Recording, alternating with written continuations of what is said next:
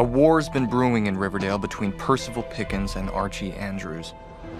A conflict between good and evil, or, in this incarnation, between those who work and those who exploit workers. Before we begin construction of my railroad, a few minor details. Starting today, my company will provide you with all the tools and equipment you require. This rental fee will be deducted from your pay. Our pay, which is actually less than what we discussed, Mr. Mayor. Well, I'm simply responding to fluctuations in the marketplace, Mr. Fogarty. Get to work.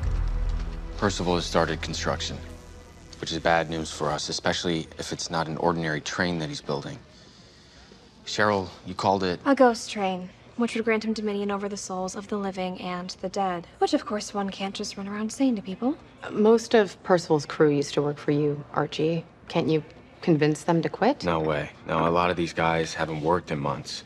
They'll take whatever they can get, even if they're being exploited or abused. Which gives Percival the upper hand. For the moment. But now that he's got a crew, he's breaking all the promises that he made to get them to sign up. He's also 100% anti union. Of course he is. Unions literally unite people, and united people are more difficult to control. And Percival, as we know, is all about control. And Tweed. He's trying to break the workers' spirits, their resolve. A lot of these guys have spent most of their lives working union jobs. I mean, if I can do some good old fashioned agitating, remind them that Percival's values are the exact opposite of their own, that he doesn't care about them, we might be able to get them to vote to unionize. So that instead of quitting, the workers would strike. Work on the railway would stop. And once again, we're in a battle for the town's soul. What exactly can I do? Sing Bruce Springsteen covers? Mm, No, thank you. Dua Lipa or bust. Uh, no, Cheryl.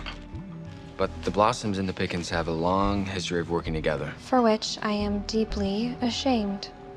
Are there any family records or documents that you could raid for damning evidence we could use against Percival? As a matter of fact, a friend and I are currently in the process of cataloging the Blossom archives. I'll let you know if I find any dish or dirt. Now, can I please go? Archie, if you really want to rally support against Percival, one of my waitresses heard that Percival is apparently making his crew pay for their own coffee. So, why don't you and I head down there in one of my pop's trucks and, you know, innocently hand out some free cups of Joe? Maybe suggest they start hanging out here, the headquarters of the resistance. So when did your poison powers first start to manifest? A few weeks ago. Mm, did anything traumatic happen to you right beforehand? My father. His death was definitely traumatizing. Wait, are you Veronica Lodge? As in Lodge Rum?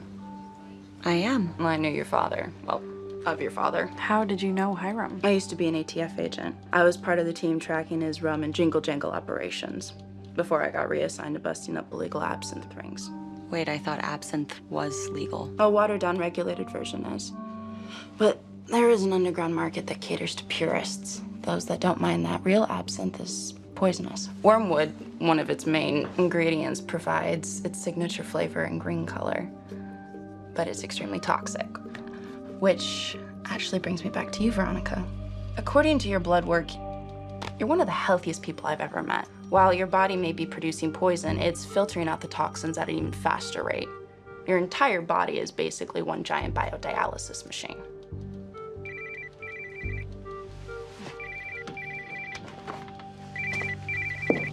Mom, what is it? I'm at work. Where is he? He's upstairs in your room.